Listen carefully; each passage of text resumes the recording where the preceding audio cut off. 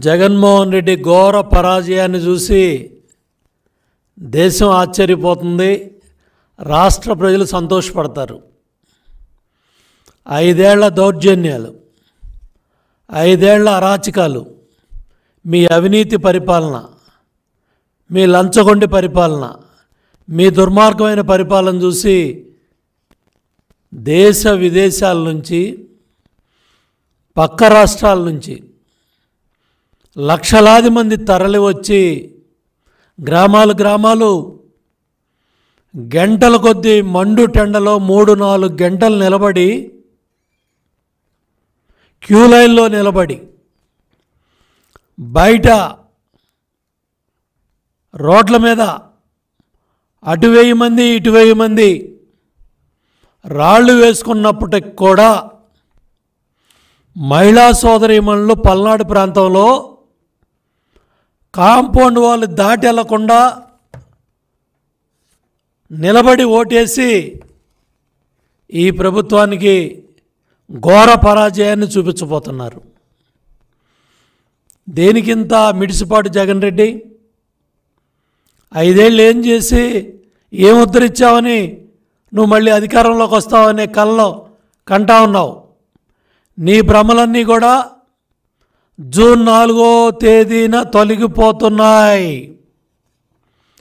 Counting ఏజెంట్లు నిలబెట్టుకునే కార్యక్రమంలో భాగంగా జగన్ రెడ్డి శాసనసభ్యులు పార్లమెంటు సభ్యులు పోటీ చేసిన అభ్యర్థులు పార్టీ నాయకులతో మాట్లాడే ధైర్యం లేక అపధర్మ ముఖ్యమంత్రి political consultancy agency IPAC team సభ్యులతో జబ్బలు దరుచుకుంటా ఉన్నాడు. గప్పాలు కొడతా ఉన్నాడు.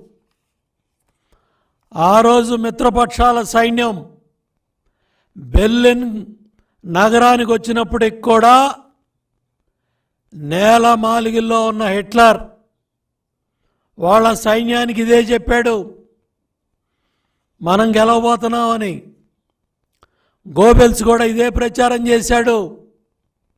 హిట్లర్ లేని తర్వాత లేనప్పుడు కూడా మనం గెలవబోతున్నామని గోబిల్స్ కూడా ఇదే ప్రచారం చేశాడు సజల అట్లాగే ఏం ఉద్ధరించావని నీకు ఎంపీ సీట్లు వస్తాయి. ఇవాళ వైనాట్ పులివెందుల అని ప్రజలు అడుగుతున్నారు కడప జిల్లాలో. కడప ఎంపీ కూడా గెలవబోతున్నాం అనే సమాచారాలు బయటకు వస్తూ ఉన్నాయి. ఇటువంటి పరిస్థితుల్లో ఈరోజు మూడు రోజుల తర్వాత బయటకు వచ్చి ఇటు సోషల్ మీడియా కానీ మీడియా కానీ దేశం అంతా రాష్ట్రం అంతా ఘోషిస్తూ ఉంటే తట్టుకోలేక ఈరోజు నీ బెంజ్ కంపెనీలో నువ్వు పెంచి పోషించిన ఈ సైన్యం ఈ ఐపాక్ ముఠా వాలంటీర్ వ్యవస్థను అడ్డం పెట్టుకొని ప్రజల వ్యక్తిగత సమాచారాన్ని వ్యక్తిగత డేటాని ఇవంతా కూడా చోరీ చేసిన ముఠ ఐపాక్ రుషిపా సింగ్ ముఠా. వీళ్ళు చేసిన దోపిడీ వీళ్ళు చేసిన డేటా చోరీ ఇవన్నీ కూడా రాబోయే ప్రభుత్వం ఎన్డీఏ కూటమి చంద్రబాబు గారి నాయకత్వంలో ఎన్డీఏ ప్రభుత్వం ఏర్పడుతుంది. ఈ ఐపాక్ టీం ఈ డేటా చోరీ రాష్ట్ర ప్రజల వ్యక్తిగత సమాచారం వ్యక్తిగత భద్రతా సమాచారాన్ని వాలంటీర్ వ్యవస్థ ద్వారా చోరీ చేసి జగన్మోహన్ రెడ్డి ఐపాక్ టీమ్ని కట్టబెట్టాడు.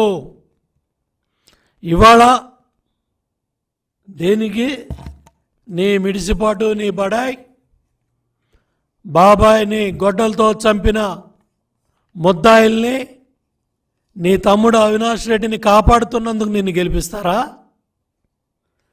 ధరలు నిత్యావసర వస్తువులు పేదల రక్తాన్ని పీల్చి ఎనిమిది లక్షల కోట్ల రూపాయల భారం వేసినందుకు నిన్ను ఉద్ధరిస్తారా రాష్ట్ర ప్రజలు? ఎస్సీ ఎస్టీ సప్లాన్ అన్ని నిధులు లక్షన్నర కోట్లు నిధులు మళ్ళించి ఏం ఉద్ధరించావని మళ్ళీ పగటి కళ్ళకంటున్నావు జగన్ రెడ్డి సమాధానం చెప్పమని కూడా నేను అడుగుతా ఉన్నా. అన్నా క్యాంటీన్లో పేదవాడికి అన్నం పెడితే ఓరవలేకపోయావు. పెళ్ళి కానుకలు ఇస్తే ఓరవలేకపోయావు. వందకు పైగా ఎస్సీ ఎస్టీ బీసీ మైనార్టీ పథకాలన్నీ రద్దు చేశావు. దీనికోసం నువ్వు కళ్ళకంటున్నావు మద్యపాన నిషేధం చేస్తేనే ఓట్లు అడుగుతా ఉన్నావు. అవన్నీ మర్చిపోయావు. మాట ఇచ్చావు మాట నిప్పావు. దానికోసం నీ మిడిసిపాటు? నాసిరకం మద్యం విషపూరిత మద్యం ముప్పై ఐదు వేల మంది సామాన్య పేద మధ్యతరగతి కుటుంబాలు మంగళసూత్రాలు తెంచినందుక మీ మిడిసిపాటు? కరెంట్ ఛార్జీలు మూడు సా పెంచినందుక మీ మిడిసిపాటు? బస్ ఛార్జీలు పెంచినందుక మీ మిడిసిపాటు ఇసుక ధరలో అడ్డగోలుగా నాలుగు రెట్లు పెంచి నలభై లక్షల మంది భవన నిర్మాణ కార్మికులు పొట్టగొట్టినందుక